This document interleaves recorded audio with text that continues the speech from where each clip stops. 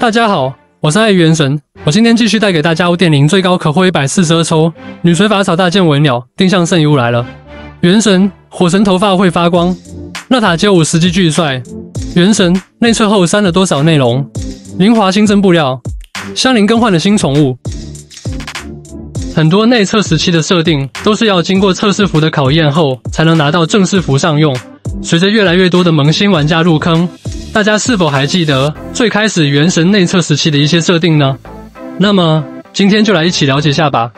首先是安博，待机动画中，安博有一段活力四射的舞蹈，然而在正式服中，这段魔性的舞蹈却被迫让兔兔伯爵给继承了。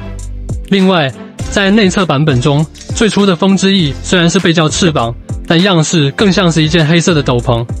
而且内测时看起来又混乱又没有美感，明显是当时整个系统还没完善，所以 DOI 随便套点模板，先把东西做出来，后期再根据完整的游戏重新设计 UI 的。神里灵华大小节，灵华在内测时期，当周围敌人生命值低于百分之三十时，会触发一个非常帅气的空中斩杀动作，甚至在普攻动作中还暗藏专属福利。然而到了正式服。可能有些不符合神里大小姐的身份，绫华被新增了安全库。不仅如此，神里还有一个改动，那就是内测时神里的一技能会有一个非常优雅的转圈动作作为前摇，但现在就只有一个起扇子的动作了。萌新玩家们一定想象不到，香菱最初的宠物设定是一只熊猫，不过从配色上来看的话，貌似造神更适合香菱一些。顺便说一句，锅巴还是只熊猫。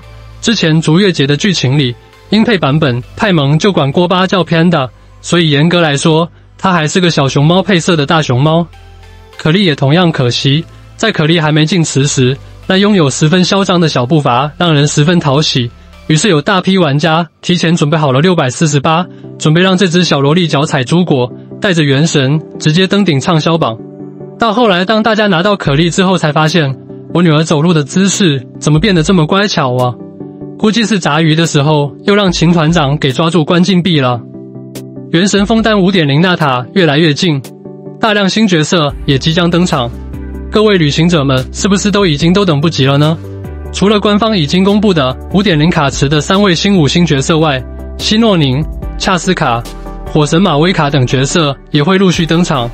就后续卡池角色等相关消息，一起来看看吧。有关于五点零卡池的新角色已经公布。分别是马拉尼、基尼奇、卡奇娜。复刻角色的话，就最近的相关消息来看，目前说法有两个版本，一个是之前预测的钟离、申鹤、莱欧斯利，新版本则是万叶、雷神复刻。不过两边都没有实锤，所以说变动的可能性还是比较大的。各位旅行者们看看就好。而在五点零纳塔也新增了一个圣遗物的小道具，简单来说就是。这个小道具可以使用一种消耗品，效果的话，大概率是造出一件特定的圣遗物，具体机制暂时并不清楚。这个消耗品在每期的珍珠剧情中，大月卡达到二十六级的时候会给一个。这么来看的话，倒是和隔壁星铁的字数差不多，不过一个倒是有点少了。这是定向圣遗物要来了。除此之外。就是各位旅行者们比较关心的纳塔五点零可获原石的多少了。废话不多说，具体大家直接看下图。其中零氪玩家最高可获一百一十抽，小月卡玩家最高可获一百三十四抽，大小月卡玩家最高可获一百四十二抽。总的来说，奖励还是比较多的，不过也不完全保真，和实际数据应该还会有差距。但是现在囤原石的话，想抽五点零女水法和草大剑基本上是稳了。对于大家比较关心的希巴拉克，舅舅今天再次明确表示不是 MTC。目前是已经有不少人看到设计稿了，虽然不知道是不是最终形象。希巴拉克确实跟前火神有关系，不过等八连发女之后出希巴拉克，感觉那时候黄花菜都凉了吧。有关泡泡玛特联动角色确定了，分别是甘雨行秋胡桃、香菱以及温迪。而且温迪听说有两种，一个是隐藏款，不过泡泡玛特挺贵的吧？我印象里那些个盲盒都六七十大洋一个，属实是太贵了。有关纳塔的街舞时机一览，怎么看都像是在一边打碟一边在跳街舞啊，和我原本预想的那塔差距有点大呀。我原本预想的那塔是个战斗国度，最初看足迹 PV 里的介绍，我还以为奈塔不说是战火肆虐、全民皆兵，起码也是人均勇猛好斗、领地斗争不止的那一类型。现在貌似和嘻哈文化、涂鸦、说唱、街舞、DJ 融合了。嘻哈本来就是黑人拉丁美裔的文化，所以也合理。到时候准备做个专栏讲讲，让更多人知道。五点零新增定制圣遗物道具，每期大约卡里包含一个，可能是可以指定词条，花六十八块钱买一个指定主属性的，我是没啥意见。不过也有玩家觉得指定主属性没用，改副词条才有用，完全可以出一个道具，能随机改变圣遗物四个词条，然后过段时间再出一个道具。能够锁定一个或者两个圣遗物副词条，改变其他的词条，最终再塞一个能够无条件改变圣遗物四词条中其中一条的道具，塞到战令里，再出一个新卡池，里面能够抽到某个部位的自选圣遗物。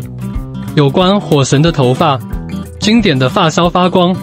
不过，大家对于火神的建模依旧是非常不看好。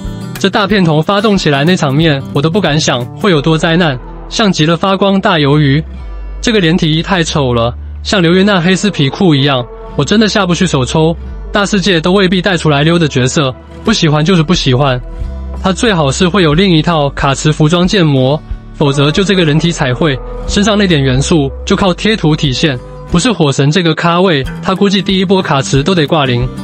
有关五点零主线出场角色，没想到居然还有温迪和丽莎，温迪就两句，估计是回忆杀。目前已经有有人发的任务实机视频，到时会有克洛琳德、小记者、黄豆姐和水神四个人来送我们前往奈塔。只能说还是福福好啊！来枫丹是他是来接我的人，离开枫丹他是送我的人，比须弥热情多了。